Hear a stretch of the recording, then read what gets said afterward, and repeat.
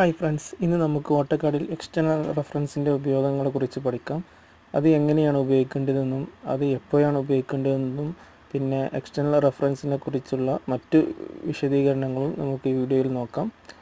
അപ്പോൾ ആദ്യമായിട്ട് നമ്മൾ എക്സ്റ്റേണൽ റെഫറൻസ് ഉപയോഗിക്കുന്നത് എക്സ്റഫ് ഉപയോഗിക്കുന്നത് നമ്മൾ വലിയ പ്രൊജക്റ്റൊക്കെ ചെയ്യുകയാണെങ്കിൽ അതിന്റെ ground floor first floor elevation മുതലായ കാര്യങ്ങളും വേറെ വേറെ വ്യക്തികൾക്ക് കമ്പനികളിലൊക്കെ ചെയ്യുമ്പോൾ രണ്ട് മൂന്ന് വ്യക്തികൾക്ക്. അത് കണ്ടോ? ഞാൻ ചെയ്തിട്ടുണ്ട്. ഗ്രൗണ്ട് ഫ്ലോർ ഫസ്റ്റ് ബേഷൻ second floor second basin elevation എന്നിങ്ങനെ ഡിവൈഡ് ചെയ്തിട്ടുണ്ട്. അപ്പോൾ മൂന്ന് മൂന്ന് വ്യക്തികൾ ചെയ്യുകയാണ്. ഷെയർഡ് ഫോൾഡറാണ് കമ്പനി ബേസിലാണെങ്കിൽ ഒരു എക്സാമ്പിളാണ് ഞാൻ പറയുന്നത്. അപ്പോൾ ഗ്രൗണ്ട് ഫ്ലോർ ഫസ്റ്റ് ബേസൺ അത് ഞാൻ ഉപയോഗിക്കുകയാണ്. അത് ഞാൻ ഓപ്പൺ ചെയ്ത് ബാക്കിയുള്ളതൊക്കെ മറ്റുള്ള വ്യക്തികളാണ് ചെയ്യുന്നത്. സെക്കൻഡ് ഫ്ലോർ വേറൊരു വ്യക്തിയാണ്. എലിവേഷൻ വേറൊരു വ്യക്തിയാണ് ചെയ്യുന്നത്. അപ്പോൾ ഓക്കെ.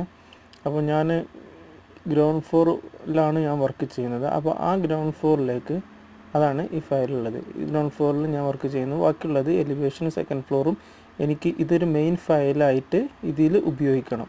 മറ്റുള്ള വ്യക്തികളാണ് ചെയ്യുന്നത് എന്നുണ്ടെങ്കിലും അവരുടെ ഫയൽ എനിക്ക് ഇതിലേക്ക് കൊണ്ടുവരണം. അതിന് എക്സ് റെഫറൻസിന് വേണ്ടി ഞാൻ ഇ ആർ എന്റർ അടിക്കുന്നു. അതിനുശേഷം ഈ കോളത്തിൽ അറ്റാച്ച് ഡ്രോയിങ് എന്ന് കൊടുക്കുന്നു. അതിനുശേഷം ഞാൻ ആ ഫയലിലുള്ള മറ്റുള്ള വ്യക്തികളെ സെക്കൻഡ് പേഴ്സൺ അതുപോലെ തേർഡ് പേഴ്സണെയും അറ്റാച്ച് ചെയ്യുന്നു. സെക്കൻഡ് പേഴ്സൺ അറ്റാച്ച് ചെയ്തു. ഇനി തേർഡ് പേഴ്സൺ അറ്റാച്ച് ചെയ്യാൻ വേണ്ടി വീണ്ടും എന്റർ അടിക്കുന്നു. ആ ഫോൾഡറിൽ തേർഡ് പേഴ്സൺ എലിവേഷൻ സെലക്ട് ചെയ്യുന്നു. അറ്റാച്ച് ചെയ്യുന്നു. ഓക്കെ കൊടുക്കുന്നു. പോയിന്റ് ക്ലിക്ക് ചെയ്യുന്നു. ഓക്കെ അപ്പോൾ ഇനി ഇപ്പോൾ ഇതിൽ മൂന്ന് വ്യക്തികൾ ഡ്രോയിങ് ഉണ്ട്. ഒന്ന് എന്റെ ഡ്രോയിങ് ഗ്രൗണ്ട് ഉണ്ട് ഇതിലുണ്ട്. പിന്നെ രണ്ടാമത് രണ്ട് വ്യക്തികൾ പുറമേ ചെയ്യുന്ന ഡ്രോയിങ്ങും അതിൽ ഞാൻ അറ്റാച്ച് ചെയ്തു. ഇനി നമുക്ക് നമ്മുടെ ഡ്രോയിങ്ങിൽ എന്താണെന്ന് വെച്ചാൽ എഡിറ്റ് ചെയ്യാം. അപ്പോൾ ഈ മറ്റുള്ള ഡ്രോയിങ് ഒരു ഡിമ്മായിട്ടാണ് ബ്രൈറ്റ്നെസ് നമുക്ക് കാണുന്നത്. നോക്കാം. ഇതിൽ എഡിറ്റ് ചെയ്തതിന് ശേഷം.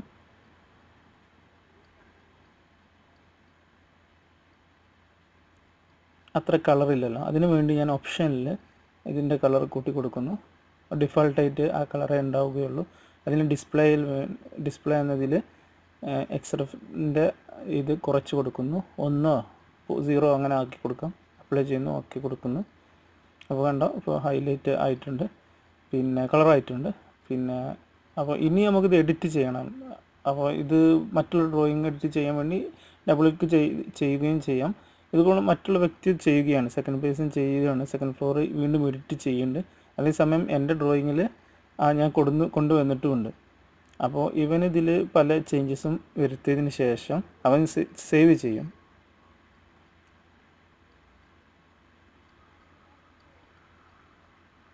ചില ചേഞ്ചസുകൾ അവൻ വരുത്തുന്ന ഒരു എക്സാമ്പിളിന് വേണ്ടി ചില ചേഞ്ചസ് ഞാൻ ചിലത് മാറ്റി മാറ്റുകയാണ്.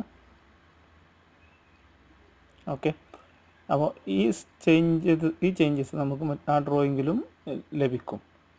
ഇവൻ സേവ് ചെയ്തു. അതിനുശേഷം ഞാൻ എന്റെ ഡ്രോയിങ്ങിൽ പോകുമ്പോൾ അവൻ സേവ് ചെയ്യും ഓട്ടോമാറ്റിക്കായിട്ട് നമുക്ക് ഇവിടെയുള്ള ഒരു കോളത്തിൽ കാണുന്നുണ്ടല്ലോ. എക്സ്റ്റേണൽ റെഫറൻസ് ചേഞ്ച് ചേഞ്ച് ചെയ്തിട്ടുണ്ട് എന്നുള്ളതാണ് അവർ കാണിക്കുന്നത്. റീലോഡ് ചെയ്യാൻ വേണ്ടി അവർ പോപ്പായിട്ട് നോട്ടിഫിക്കേഷൻ തരും. അപ്പോൾ റീലോഡ് എന്നുള്ള ഇത് ക്ലിക്ക് ചെയ്യുക. അപ്പോൾ അവൻ ചേഞ്ചസ് ചെയ്ത ഭാഗങ്ങളും നമുക്ക് ഇതിലൂടെ അപ് അപ്ഡേറ്റ് ആകും ഇനി തേർഡ് പേഴ്സൺ നമുക്കൊരു എക്സാമ്പിളായിട്ട് തേർഡ് പേഴ്സൺ വേറെ എന്തെങ്കിലും ചേഞ്ച് ചെയ്യുന്നുണ്ട്. അപ്പോൾ തേർഡ് പേഴ്സന്റെ ഡ്രോയിങ്ങിൽ അവന് കുറച്ച് മാറ്റങ്ങൾ വരുത്തുന്നു.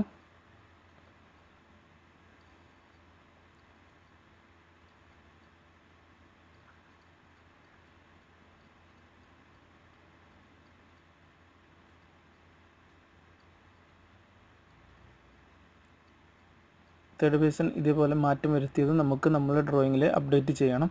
ഇവൻ സേവ് ചെയ്യുന്നത് എപ്പോഴാണോ അപ്പോൾ നമുക്ക് പോപ്പപ്പ് നോട്ടിഫിക്കേഷൻ കിട്ടുന്നതാണ്. അതിപ്പോൾ വേറൊരു വേറൊരു കമ്പ്യൂട്ടറിൽ ഷെയർഡ് ഫോൾഡറിൽ ചെയ്യുകയാണെങ്കിൽ നമുക്ക് ഇതുപോലെ ചെയ്യാവുന്നതാണ്. മറ്റുള്ള കമ്പനികളിലാണ് ഇതൊക്കെ വർക്ക് ചെയ്യുന്നത്. വലിയ വലിയ ഫയലുകളൊക്കെ ഉണ്ടോ? ഓട്ടോമാറ്റിക് അവൻ സേവ് ചെയ്തപ്പോൾ റീലോഡിന്റെ നോട്ടിഫിക്കേഷൻ വന്നു. ഞാൻ റീലോഡ് ചെയ്തു. അവൻ ചേഞ്ച് ചേഞ്ച് ചെയ്ത കാര്യങ്ങൾ നമ്മുടെ ഡ്രോയിങ്ങിൽ അപ്ഡേറ്റ് ആയി. ഇനി നമുക്ക് മറ്റുള്ള ഉപയോഗങ്ങളെക്കുറിച്ച് പഠിക്കാം. ഇനി എക്സ്റഫിൽ വരുന്ന പ്രോബ്ലംസ് തേർഡ് പേഴ്സൺ ഇതിൽ അവൻ ഡ്രോയിങ് ചേഞ്ച് അവൻ മാറ്റം വരുത്തിയതിന് ശേഷം അവൻ സേവ് ചെയ്തു. അവന് ഡ്രോയിങ്ങിൽ അവന് വേണ്ട രീതിയിൽ മാറ്റം വരുത്തിയതിന് സേവ് ചെയ്തതിന് ശേഷം നമ്മൾ ഈ പോപ്പ് അപ്പ് ക്ലോസ് ചെയ്തു. മറന്ന് ക്ലോസ് ചെയ്തു. അപ്പോൾ നമ്മൾ അവൻ ചെയ്ത ചേഞ്ചസ് ഇതിൽ അപ്ഡേറ്റ് ആയില്ല. അപ്പോൾ ഇനി എന്ത് ചെയ്യണം? നമുക്ക് അപ്ഡേറ്റ് ചെയ്യാൻ വേണ്ടി വീണ്ടും എക്സ് റെഫറൻസ് അടിച്ചിട്ട് ഇവിടെ റീലോഡ് എന്ന് കൊടുത്താൽ മതി ഈ കോളത്തിൽ അപ്പോൾ നോട്ടിഫിക്കേഷൻ നമ്മൾ ചെയ്തില്ലെങ്കിലും ഇതിൽ നമുക്ക് അപ്ഡേറ്റ് ആവുന്നതാണ്. ശേഷം അവൻ അവന്റെ ഡ്രോയിങ്ങിന്റെ പാത്ത് മാറ്റി. ഡ്രോയിങ്ങിൽ എക്സ് റെഫറൻസിന്റെ പാത്ത് മാറ്റി. അല്ലെങ്കിൽ അവന്റെ പേര് റീനെയിം ചെയ്ത് തേർഡ് പേഴ്സണ് റീനെയിം ചെയ്ത്. ഓക്കെ അപ്പോൾ നമ്മൾ ഡ്രോയിങ്ങിൽ ആ ഡ്രോയിങ് നമുക്ക് അവൈലബിൾ ആവില്ല നമുക്ക് ഞാൻ ക്ലോസ് ഇതിൽ വരുന്ന ഇനി എക്സ് റെഫറൻസിൽ വരുന്ന മിസ്റ്റേക്സ് പ്രോബ്ലംസ് ആണ് പെട്ടെന്ന് നമുക്ക് പ്രോബ്ലംസ് വരുമ്പോൾ നമ്മൾ ലോഡ് ചെയ്ത് ഫയലുകളൊന്നും കാണാണ്ടാവില്ല. വീണ്ടും ഓപ്പൺ ചെയ്യുമ്പോൾ അപ്പോൾ നമുക്ക് നോക്കാം. ഞാൻ ഗ്രൗണ്ട് ഫ്ലോർ ഓപ്പൺ ചെയ്യുന്നു. തേർഡ് പേഴ്സൺ അവന്റെ ഫയൽ ലൊക്കേഷൻ മാറ്റിയിട്ടുണ്ട്. അപ്പോൾ നമുക്ക് ആ കണ്ടോ? അതിന്റെ എറർ മെസ്സേജ് വന്നിട്ടുണ്ട്. ഫയൽ നോട്ട് ഫോണ്ട് അപ്പോൾ നമ്മൾ നമുക്ക് ആ ഫയലിന്റെ പാത്ത് നമുക്ക് വീണ്ടും ചേഞ്ച് ചെയ്യ നമുക്ക് എവിടെയാണ് കറക്റ്റ് പാത്ത് എന്താണോ അത് സെലക്ട് ചെയ്യേണ്ട ആവശ്യമുണ്ട്. അപ്പോൾ അതിന് വേണ്ടി എക്സ് റെഫറൻസിൽ കുളത്തിൽ പോയതിന് ശേഷം റീലോഡ് ചെയ്ത് നോക്കാം. പക്ഷേ നടക്കുന്നില്ല. കാരണം അതിന്റെ പാത്താണ് മിസ് ആയിട്ടുള്ളത് അപ്പോൾ ഈ സേവ്ഡ് പാത്ത് കണ്ടോ? ഇത് ഇതിൽ പോയിട്ട് ഈ കോളത്തിൽ ക്ലിക്ക് ചെയ്തതിന് ശേഷം അവൻ കൊടുത്ത ഫോൾഡറിൽ സെലക്ട് ചെയ്തിട്ട് ഓപ്പൺ ചെയ്യാം. അപ്പോൾ ആ ഫയൽ നമുക്ക് ഓട്ടോമാറ്റിക്കായിട്ട് ഇതിലേക്ക് അപ്ഡേറ്റ് ചെയ്യുന്നതാണ്. നിങ്ങൾക്ക് ഈ വീഡിയോ ഇഷ്ടപ്പെട്ടാൽ ലൈക്ക് ചെയ്യുക എന്റെ അക്കൗണ്ട് സബ്സ്ക്രൈബ് ചെയ്യുക എന്നാൽ പുതിയ ടിപ്സുകൾ നിങ്ങൾക്ക് മിസ്സാവുന്നതല്ല ഓക്കെ